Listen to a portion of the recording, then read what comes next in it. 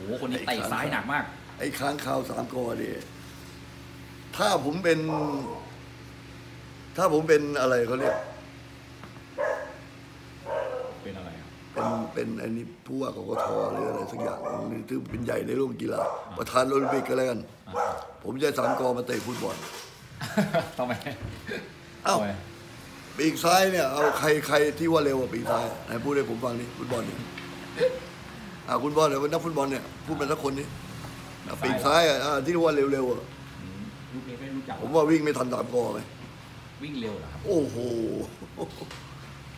สามกอเนี่ยถ้าเป็นนักกีฬาวิ่งร้อยเมตรเหรียญทองอ๋อวิ่งเร็วมากเอ่อเขาเป็นมวยฝากซ้อมเหรออาจารย์มาอยู่นานไหมอะ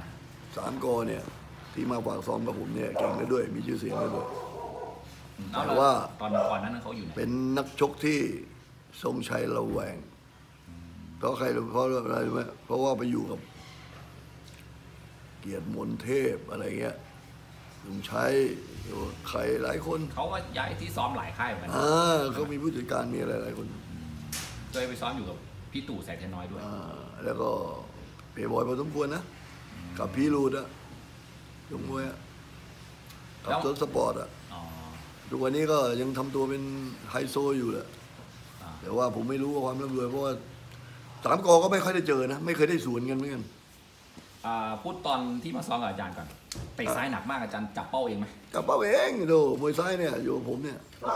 มวยซ้ายที่มีชื่อเสียงที่สุดมีคนเดียวที่ผมไม่ได้เตะแต่เป้าผมใครรู้ไหมใครคเจรับริญทองอ่าเจริญทองเนี่ยไม่เคยเตะเป้าผมทำไมอะครับอ้าวเพราะเจริญทองเนี่ยเขาพี่เหินมีคนเทรนมานะเหินศิลาทองอ่าพูดถึงพี่สามกอก่อนที่อาจารย์บอกว่าเดิมพันข้างละล้านกับบักโจ้สองพันนึกอ่า โอ้สมัยก่อนบักโจ้ดังมากนะอาจารย์แน่นอนแล้วแล้วแล้วอ่านกินด้วย อ่านกินยังไงฮะอ้าวก็อย่างเงี้ยขึ้นไปอ๋ออูใหญ่มากใหญ่ต่อยกันที่ไหนครับแกคออ่ำเวทีแปดริ้วไงเวทีหน้าทรงเปิด เวทีคุณทรงชัยที่แปดริ้วเปิดเป็นครั้งแรกเลยอ๋อเปิดสมัยก่อนสนามบักโจ้นี่พระเอกภูทรนะแน่นอนจอมเดิมพันโอ้เลยโหอะแล้วคนเป็นไฟดังที่มากตั้งแต่ผมทำมวยมา ผมไม่เคยถือเงินใส่ถาดอย่างเงี้ยเยอะๆเนี่ยข้างละ ล้านล้านข้างละล้านสองล้านเออเดิมยพักนสองยกล้านยกข้ามเชือกไปแทบจะไม่ไหวอะโอ้โหยุคนั้นเดิมพันสองล้านนี่เยอะมากเลยอ่าก็แล้วเป็นไงครับ ตอนนั้นก๋วยเตี๋ยวชามกี่บาทนะไปกินนิ่มจะทำไงตอนนั้นก๋วยเตี๋ยวชามกี่บาทครับตอนนั้นห้าบาทสิบบาทเลยละมั้งเอ้ยก็ก๋วยเตี๋ยวก็แพงแล้วตอนเริ่มแพงแล้วใช่ไหมแพงแล้วแล้วไม่ไม่รูปเกมเป็นไงอาจารย์ฮะรูปเกมเป็นยังไงการชกไฟนั้นน่าจะไปเหลือมวยซ้ายยาวๆสาดไป เตะขามาจนแทบจะคาน แต่ก็เก่งนะบักโจ้เนี่ยถ้าซ้อมไม่ไม่ดีก็เสร็จนะอืมอืมอืม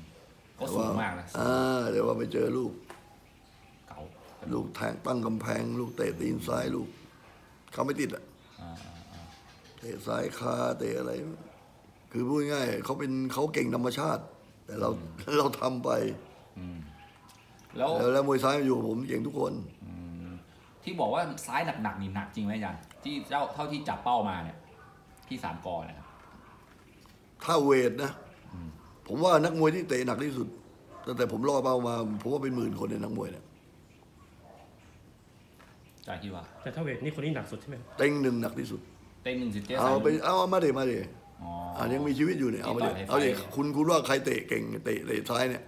เตะหนักแล้วมาเตะแล้วมาวัดกันเอาเครื่องมือมาวัดอืมคือแต่อันนี้เตะหนักมากคืออาจารย์ วัดจากที่เคยจับเป้าให้ ใช่อ่าไอ้เต็งหนึ่งนี่ไม่ใช่หมัดหนักอย่างเดียวนะ เตะก็หนักอ่าอ่าแต่ว่าเตะสามกอนี่ก็นักวิ่งเร็วอะเตะได้ทุกระยะอืมแล้วเตะเตะเตะทั้งตัวครับและผิดยากอืม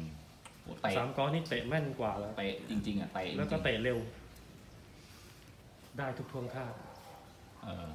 อ่านี่คือ มีวีรกรรมอะไรให้ให้เล่าไหมที่สามกอเนี่ยก็มีตอนซ้อมเป็นคนนิสัยไงนิสัยดีไหมก็นิสัยดีนิสัยดีนะครับ แล้วก็ประเภท อะไรเขาเรียกพี่เพชรไปไหนเราเรื่องมันจบไปแล้วนะ แต่ว่าเรื่องเรื่องบางเรื่องบางทีไม่เป็นไรมันอาจารย์มันเรามาพูดแล้วมันทำให้คนอื่นเสียหายไม่ได้ได้ครับไม่เป็นไรครับ แต่ว่าผม